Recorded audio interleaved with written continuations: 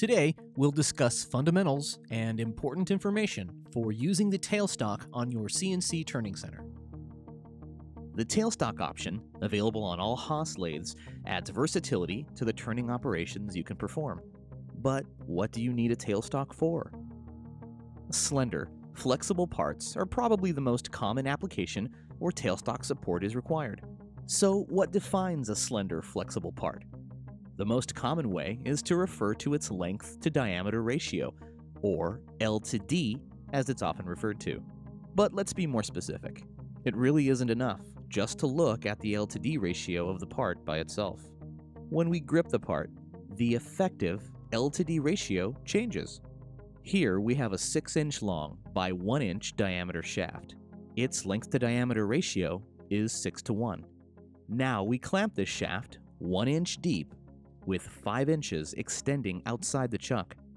The unsupported region of the shaft has an L to D of 5 to 1. This unsupported region is what we need to consider. With this much of the workpiece hanging out, there will likely be problems cutting unless tailstock support is added. However, the same 6 to 1 part, clamped with only 3 inches hanging out, will probably not need tailstock support, because now the unsupported region is only at a 3 to 1 ratio.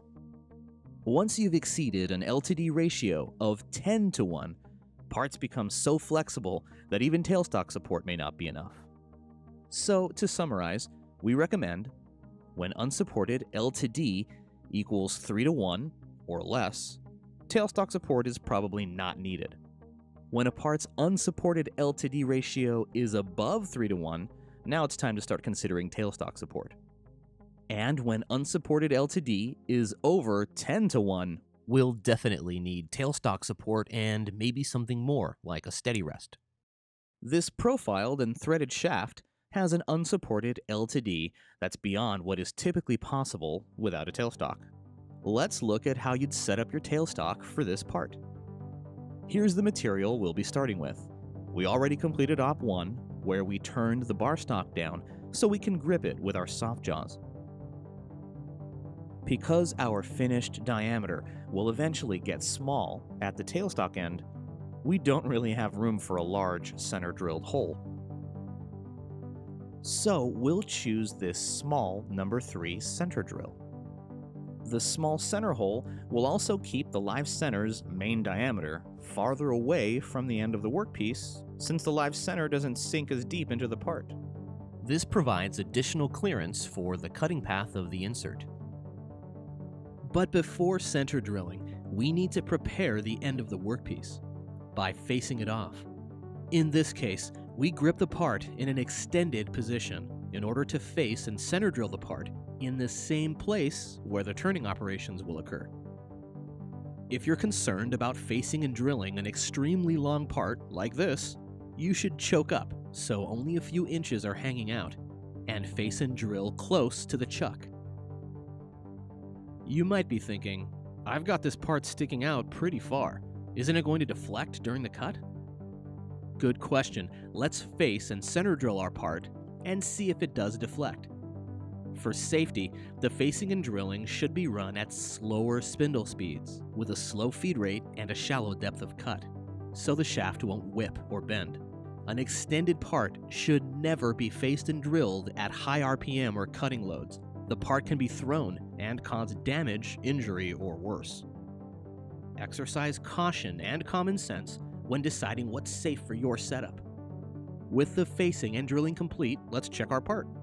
Both the face we just turned and the center drilled hole have very low runout. Great! Okay, so we just saw the part get faced off and center drilled. These operations start off our program. Next, the tailstock moves automatically into position. With the part supported, the cutting continues. Using the Haas programmable tailstock, tailstock motion is initiated from within a program. No manual activation is needed. Before we move on, let's stop for a minute and talk about center drill depth. We'll look at the important part of the center drill, its 60 degree cutting edge. The highlighted area shows us the full drill depth, but generally, you want to cut into your part up to about 90% of this full drill depth. Don't make the mistake of drilling so deep that you drill into the major drill diameter. Now, instead of a nice wide 60 degree flank, you'll be left with an edge at the face of the part, which will only offer a fraction of the engagement of a properly drilled center hole. Part stability will suffer. And though it may seem like an obvious point, it's worth noting that a surprising number of people will mistakenly use a 90 degree chamfering drill to make their center holes. This is what the contact looks like when a 90 degree chamfering drill is used. With only the bottom edge of the hole touching the center's tip, resistance to cutting loads will obviously be reduced. Always use a 60 degree center drill so the angle of the drilled hole will perfectly match the angle of the live center. Now that our part has a center hole, let's move on to how we command our tailstock and control where it moves. So, how would you tell the tailstock to move forward and retract? M21 is the tailstock advance command, and M22 is the tailstock retract command. Let's add these commands to our program. We cursor down to right after the first tool is called, and this is where we insert the M21 command. And at the program's end, this is where we'll insert the M22 retract command after axis motion is complete. Still another way to initiate a tailstock move is to use the foot pedal. Whether it's commanded from a program or by the foot pedal, when the tailstock moves forward from home position, it moves to what we call the retracted setting 105 position. From here, it will move back and forth between the 105 retracted position and the 107 hold position as you clamp and unclamp your parts. We'll talk more about these settings in a minute. When the foot pedal is used to put the tailstock in motion, either forward or in reverse, when you press the pedal a second time, the tailstock will stop, as a safety precaution. Once it's stopped, pressing the pedal again will return it to the retracted position. However, it's important to note when an M21 or M22 command has been issued, pressing the foot pedal will not halt tailstock motion. And there are several other ways to move the tailstock, you can use the tailstock jog keys, handle jog the B axis, or command a B axis move. But none of these should ever be used to clamp the part. To clamp your part during machining, use only the M21 command or the foot pedal to initiate the M21 move. This is the only acceptable way to clamp your part. Using the handle jog keys, the rotary control, or commanding a B-axis move will not maintain full clamping pressure during cutting. With our M21 and M22 commands in place, let's look at where we're telling the tailstock to go. We'll start with setting 107. This defines where the tailstock should be when it's clamping the part.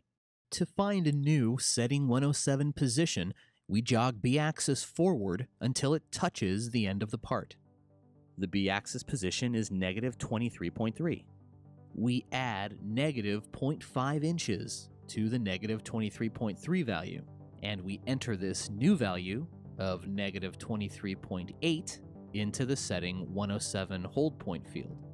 This way, the tailstock tries to clamp at a point beyond where it actually touches the part allowing for minor variations in part length. Let's test our new 107 value. The tailstock is trying to reach negative 23.8, but of course it stops when it hits the workpiece at negative 23.3. Great, the part is clamped. How about setting 106? This setting tells the tailstock when to slow down from rapid motion. We'll leave it set at its present setting of 2, which slows motion 2 inches before the hold point. With 107 and 106 out of the way, let's look at setting 105, which sets the retract point. Setting 105 defines how far away the tailstock retracts from the setting 107 value. Right now, setting 105 is set at 11 inches, and our tailstock is wasting a lot of time moving too far away. So we'll pick a new value of 3.5 inches. This keeps it closer when retracted, but it still gives us enough room to remove the part. Next, we've got setting 121. This is also important. When you use the foot pedal, setting 121 warns you when the tailstock is not clamping the part. Pretty handy. With setting 121 set to off, the tailstock moves to the 107 position, but it doesn't check if it's reached the part. So if your part isn't in the right place, the tailstock may not actually be clamping the part. That's why we recommend setting 121 should always be set to on. That way, anytime the tailstock is activated, whether by a program or with the foot pedal, it will fault out if it doesn't find a part. Next, we've got settings 93 and 94. These define a region around the tailstock, which acts like an invisible shield. This shielded zone moves with the tailstock. Setting 93 is easy to visualize. It's the distance from x0 down to the edge of the restricted zone. So to set this value, find the most extended tool on your turret and use that to check your clearance. So we jog the x-axis down towards the tailstock until we found the clearance we're happy with. Looking at the x-axis position on the screen, the reading is x negative 7.63. So we'll change setting 93 to a slightly smaller value, like negative 7.6. Simple. Now, when x-axis motion moves toward the tailstock, it will halt just shy of negative 7.6 before the tool can crash. Okay, setting 94 is a little trickier. Let's move the tailstock back so we can look at how it works. Say for example, we need to drill the end of this part mid-cycle. We don't want the turret to hit the tailstock as we retract at the end of the drill cycle. Setting 94 represents the difference between the position of the tailstock and the turret along the z-axis, and it protects the tailstock from unintended z-axis moves. Let's just say, for example, we just changed to a different live center, and now we want to increase our setting 94 clearance value. This is how we would do it. You jog the z-axis towards the tailstock until you reach what looks like enough clearance. Then we look at the machine position value and subtract the b-axis from the z-axis. In our case, we subtract negative 5.0, the position of the tailstock, from negative 8.82, the position of the z-axis. This gives us negative 3.82.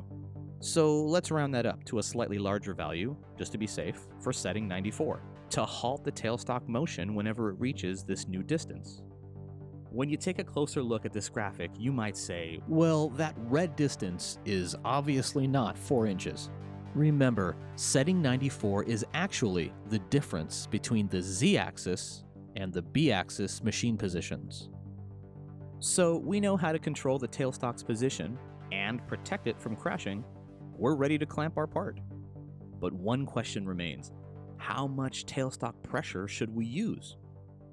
Many machinists believe it's best to use as much tailstock pressure as possible so the part doesn't come out. Others believe you should hold your part with as little pressure as possible so you don't deform your part. You might be thinking, well, why shouldn't I just use max tailstock pressure all the time? Well, one important reason is as tailstock pressure increases, deflection in the workpiece and in the machine also increases. Sometimes this can affect accuracy and repeatability. You can also increase wear on your live center, and now you're adding more force to the already existing axial cutting forces, which are trying to push the part inward past your jaws or collet. To explore this question, we're going to perform a few more of our famous real world tests to demonstrate why we here at Haas recommend starting with a tailstock pressure of 200 psi when setting up a new part. First, it's helpful to figure out how much force is actually being applied when we set the tailstock to 400 psi. Using this load cell, we can see that our max tailstock pressure at 400 psi translates to a little over 1200 pounds of force, the same as what the chart on the side of the machine says. Let's start with a static test to see if part deflection is affected by tailstock pressure. We've got this 1 inch diameter shaft held 10 inches out from the chuck with the tailstock clamping it at 200 psi. To simulate a cutting force We'll use the x-axis to push with the turret against the load cell, which in turn will push against the shaft. And finally, we'll use an indicator to measure how much the shaft deflects as the load increases. Okay, so we're jogging x-axis in tenths mode to apply a radial load of 100 pounds at the end of the workpiece. The end of the shaft deflects 2 thou 5 tenths. Increasing the load to 250 pounds of force, we get a reading of 6 thou 3 tenths. Here is a summary of these results. For the next test, everything's the same, except this time we're going to use a tailstock force of 400 psi. At the 100 pound radial load, we get 2 thou 5 tenths again.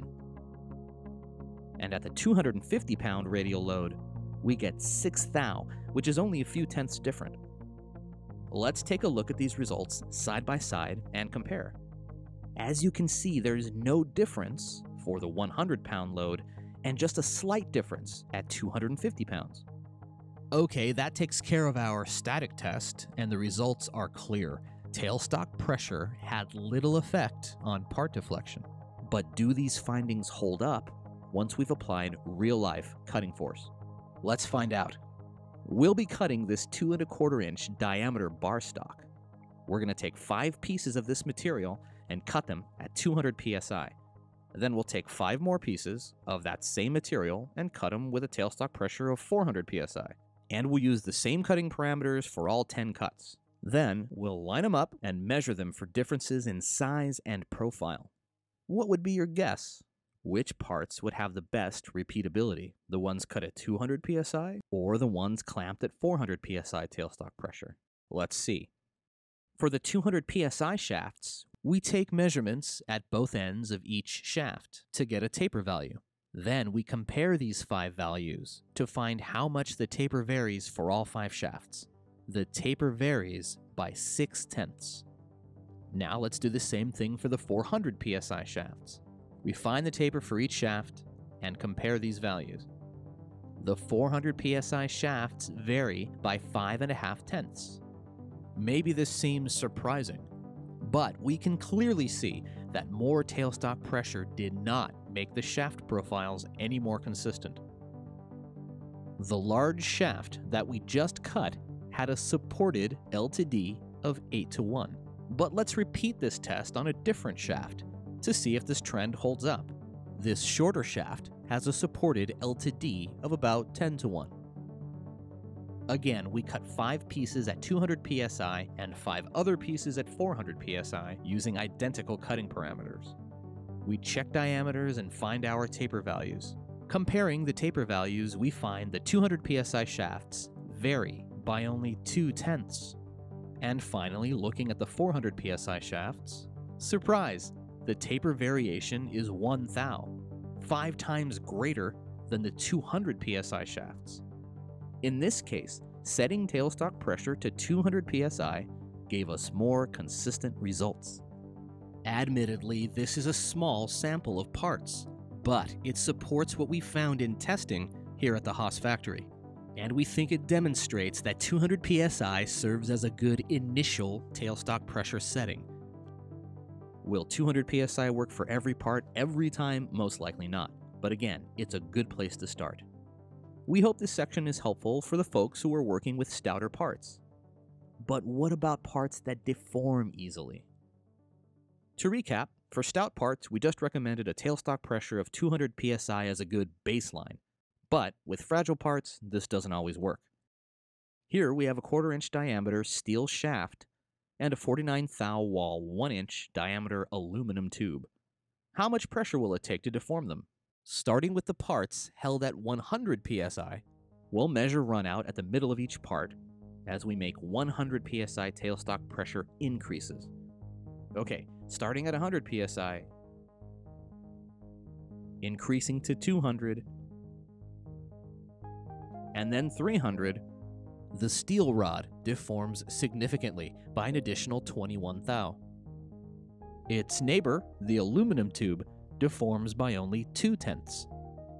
All the way up to 400 psi, the end of the aluminum tube permanently deforms. Meanwhile, at 400 psi, the steel rod bends so much we don't need an indicator anymore. Okay, so why did we show you this? We want you to realize that 200 psi will probably not work for some weaker parts. The point is, when your part is fragile, take some measurements to find where it starts to deform and keep your tailstock pressure below this point. We've covered a lot. Let's look back for a moment and summarize our recommendations. For most turning jobs, we recommend starting with a tailstock pressure of 200 psi, except at extremes of part size, weight, and cutting load. When your workpiece is very slender or made from weak material, tailstock pressure should be run in the 100 to 200 psi range based on your measurements. And how about really heavy parts? When your part is very heavy, it does make sense to use tailstock pressures between 200 and 400 psi. And when you have cuts that are moving towards the tailstock, it's also a good time to consider running at a tailstock pressure above 200 psi to counter the axial forces that want to pull the part out of the chuck. Okay, so can we run our part already? Yes, but before we do, there's one more thing to consider. The live center. This connects the part to the tailstock. It must rotate freely. It must locate the workpiece precisely and rigidly on center, and it must accept the speeds and loads your machine will exert. Live centers come in many sizes and shapes to fit your tailstock while allowing the best access and support for your parts. In our example, because our part reduces to a relatively small threaded diameter at the tailstock side, we're using what's often called a CNC live center. The reduced diameter shank on this live center allows more room near the end of the part for threading and other finishing tools. If we were using a standard point live center, we'd have to be very careful not to make some contact here. Let's look at the CNC and standard point center side by side. We've already mentioned that the CNC center gives you more clearance, but it is weaker, so it may introduce some chatter. By comparison, the standard point center is more rigid, so you might opt to use it to cure chatter problems. Now, live centers have three main characteristics that you need to keep in mind when setting up your job maximum RPM, part weight limits, and axial force limits. If you were to max all of these out, your live center would wear down and last a fraction of its normal life. On the other hand, when you run your live center at moderate RPM and weight loads, tailstock force becomes the main factor in live center life. Yet another reason to keep your tailstock pressures low. Live centers do wear out, especially if they are mistreated or abused, so take good care of your investment. Let's check the condition of this used center. First, we're going to check out how smoothly the bearings roll. Rotate the tip four revolutions, and then keep rotating in that same direction, feeling for smoothness of rotation. If it's smooth, the bearings are likely in good condition. Next, let's check the runout at the tip. The reading is a little jumpy and it's above this live center's specifications, but it's still acceptable for the parts it's supporting. In contrast, here we have a well worn center. The tip has significant damage, and when we indicate even the smoother sections, we get jumpy indicator movements. These bearings and the center's tip are damaged. It's time to rebuild or replace this center. Make sure that the tapered side of the live center is clean, rust free, and has no dings or other damage. Visually inspect the condition and cleanliness of the taper in the tailstock as well. There should be a perfect sliding fit into the tapered tailstock bore. The correct method for removing the live center from the tailstock housing is, of course, to use a steel drift and hammer to break free the taper's tight fit. A badly stuck live center is rare. If it does happen, contact your local HFO service rep. Okay, can we make our part now? You bet. Let's return to the profiled and threaded shaft we looked at at the beginning of the video. We'll use a tailstock pressure of 200 psi, since we know this is more than sufficient to keep our part in place without any unnecessary amount of force on our part and machine. With all the aspects of our tailstock support accounted for, we're ready to run our program. But instead of just watching this part run with the tailstock supporting it, we thought it'd be a good idea to watch how it performs running alongside a separate run made without the benefit of tailstock support. Each of these parts are running with speeds and feeds optimized for the amount of support available. Machinists sometimes worry that they'll lose time waiting for the tailstock to clamp their part, but tailstock support usually allows higher speeds and better finishes. The tailstock supported part is able to run considerably faster since it is held in a much more rigid state.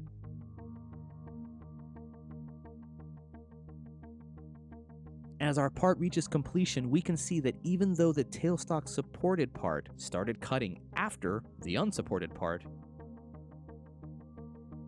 in the end, it finished well ahead, with a lower cycle time. It took 1 minute and 55 seconds to cut the tailstock supported part, and 2 minutes 50 seconds to cut it without a support, a significant difference. And we can also see visually there is significant chatter on the front journal as well as in the threaded section of the unsupported part, whereas the same areas on the tailstock supported part look good. Let's see what the actual difference in finish is between the unsupported and supported parts. To make an accurate comparison, we use a surface finish checking instrument to measure both of the finished journals on each shaft. First, we check the rear journal on the unsupported shaft and find a reading of 59 micro inches. Moving to the front journal, we find a much rougher finish of 121 micro inches. This should be expected since this feature is cut hanging out at a 4.5 to 1 length to diameter ratio. Moving on to the tailstock supported part, the rear journal has a finish of 55 micro inches, and moving forward to the front journal, we find an equal value of 55 microinches. It's easy to see there are great reasons for using tailstock support. Well, that wraps up this tailstock fundamentals video. We hope you found it useful, and thank you for watching.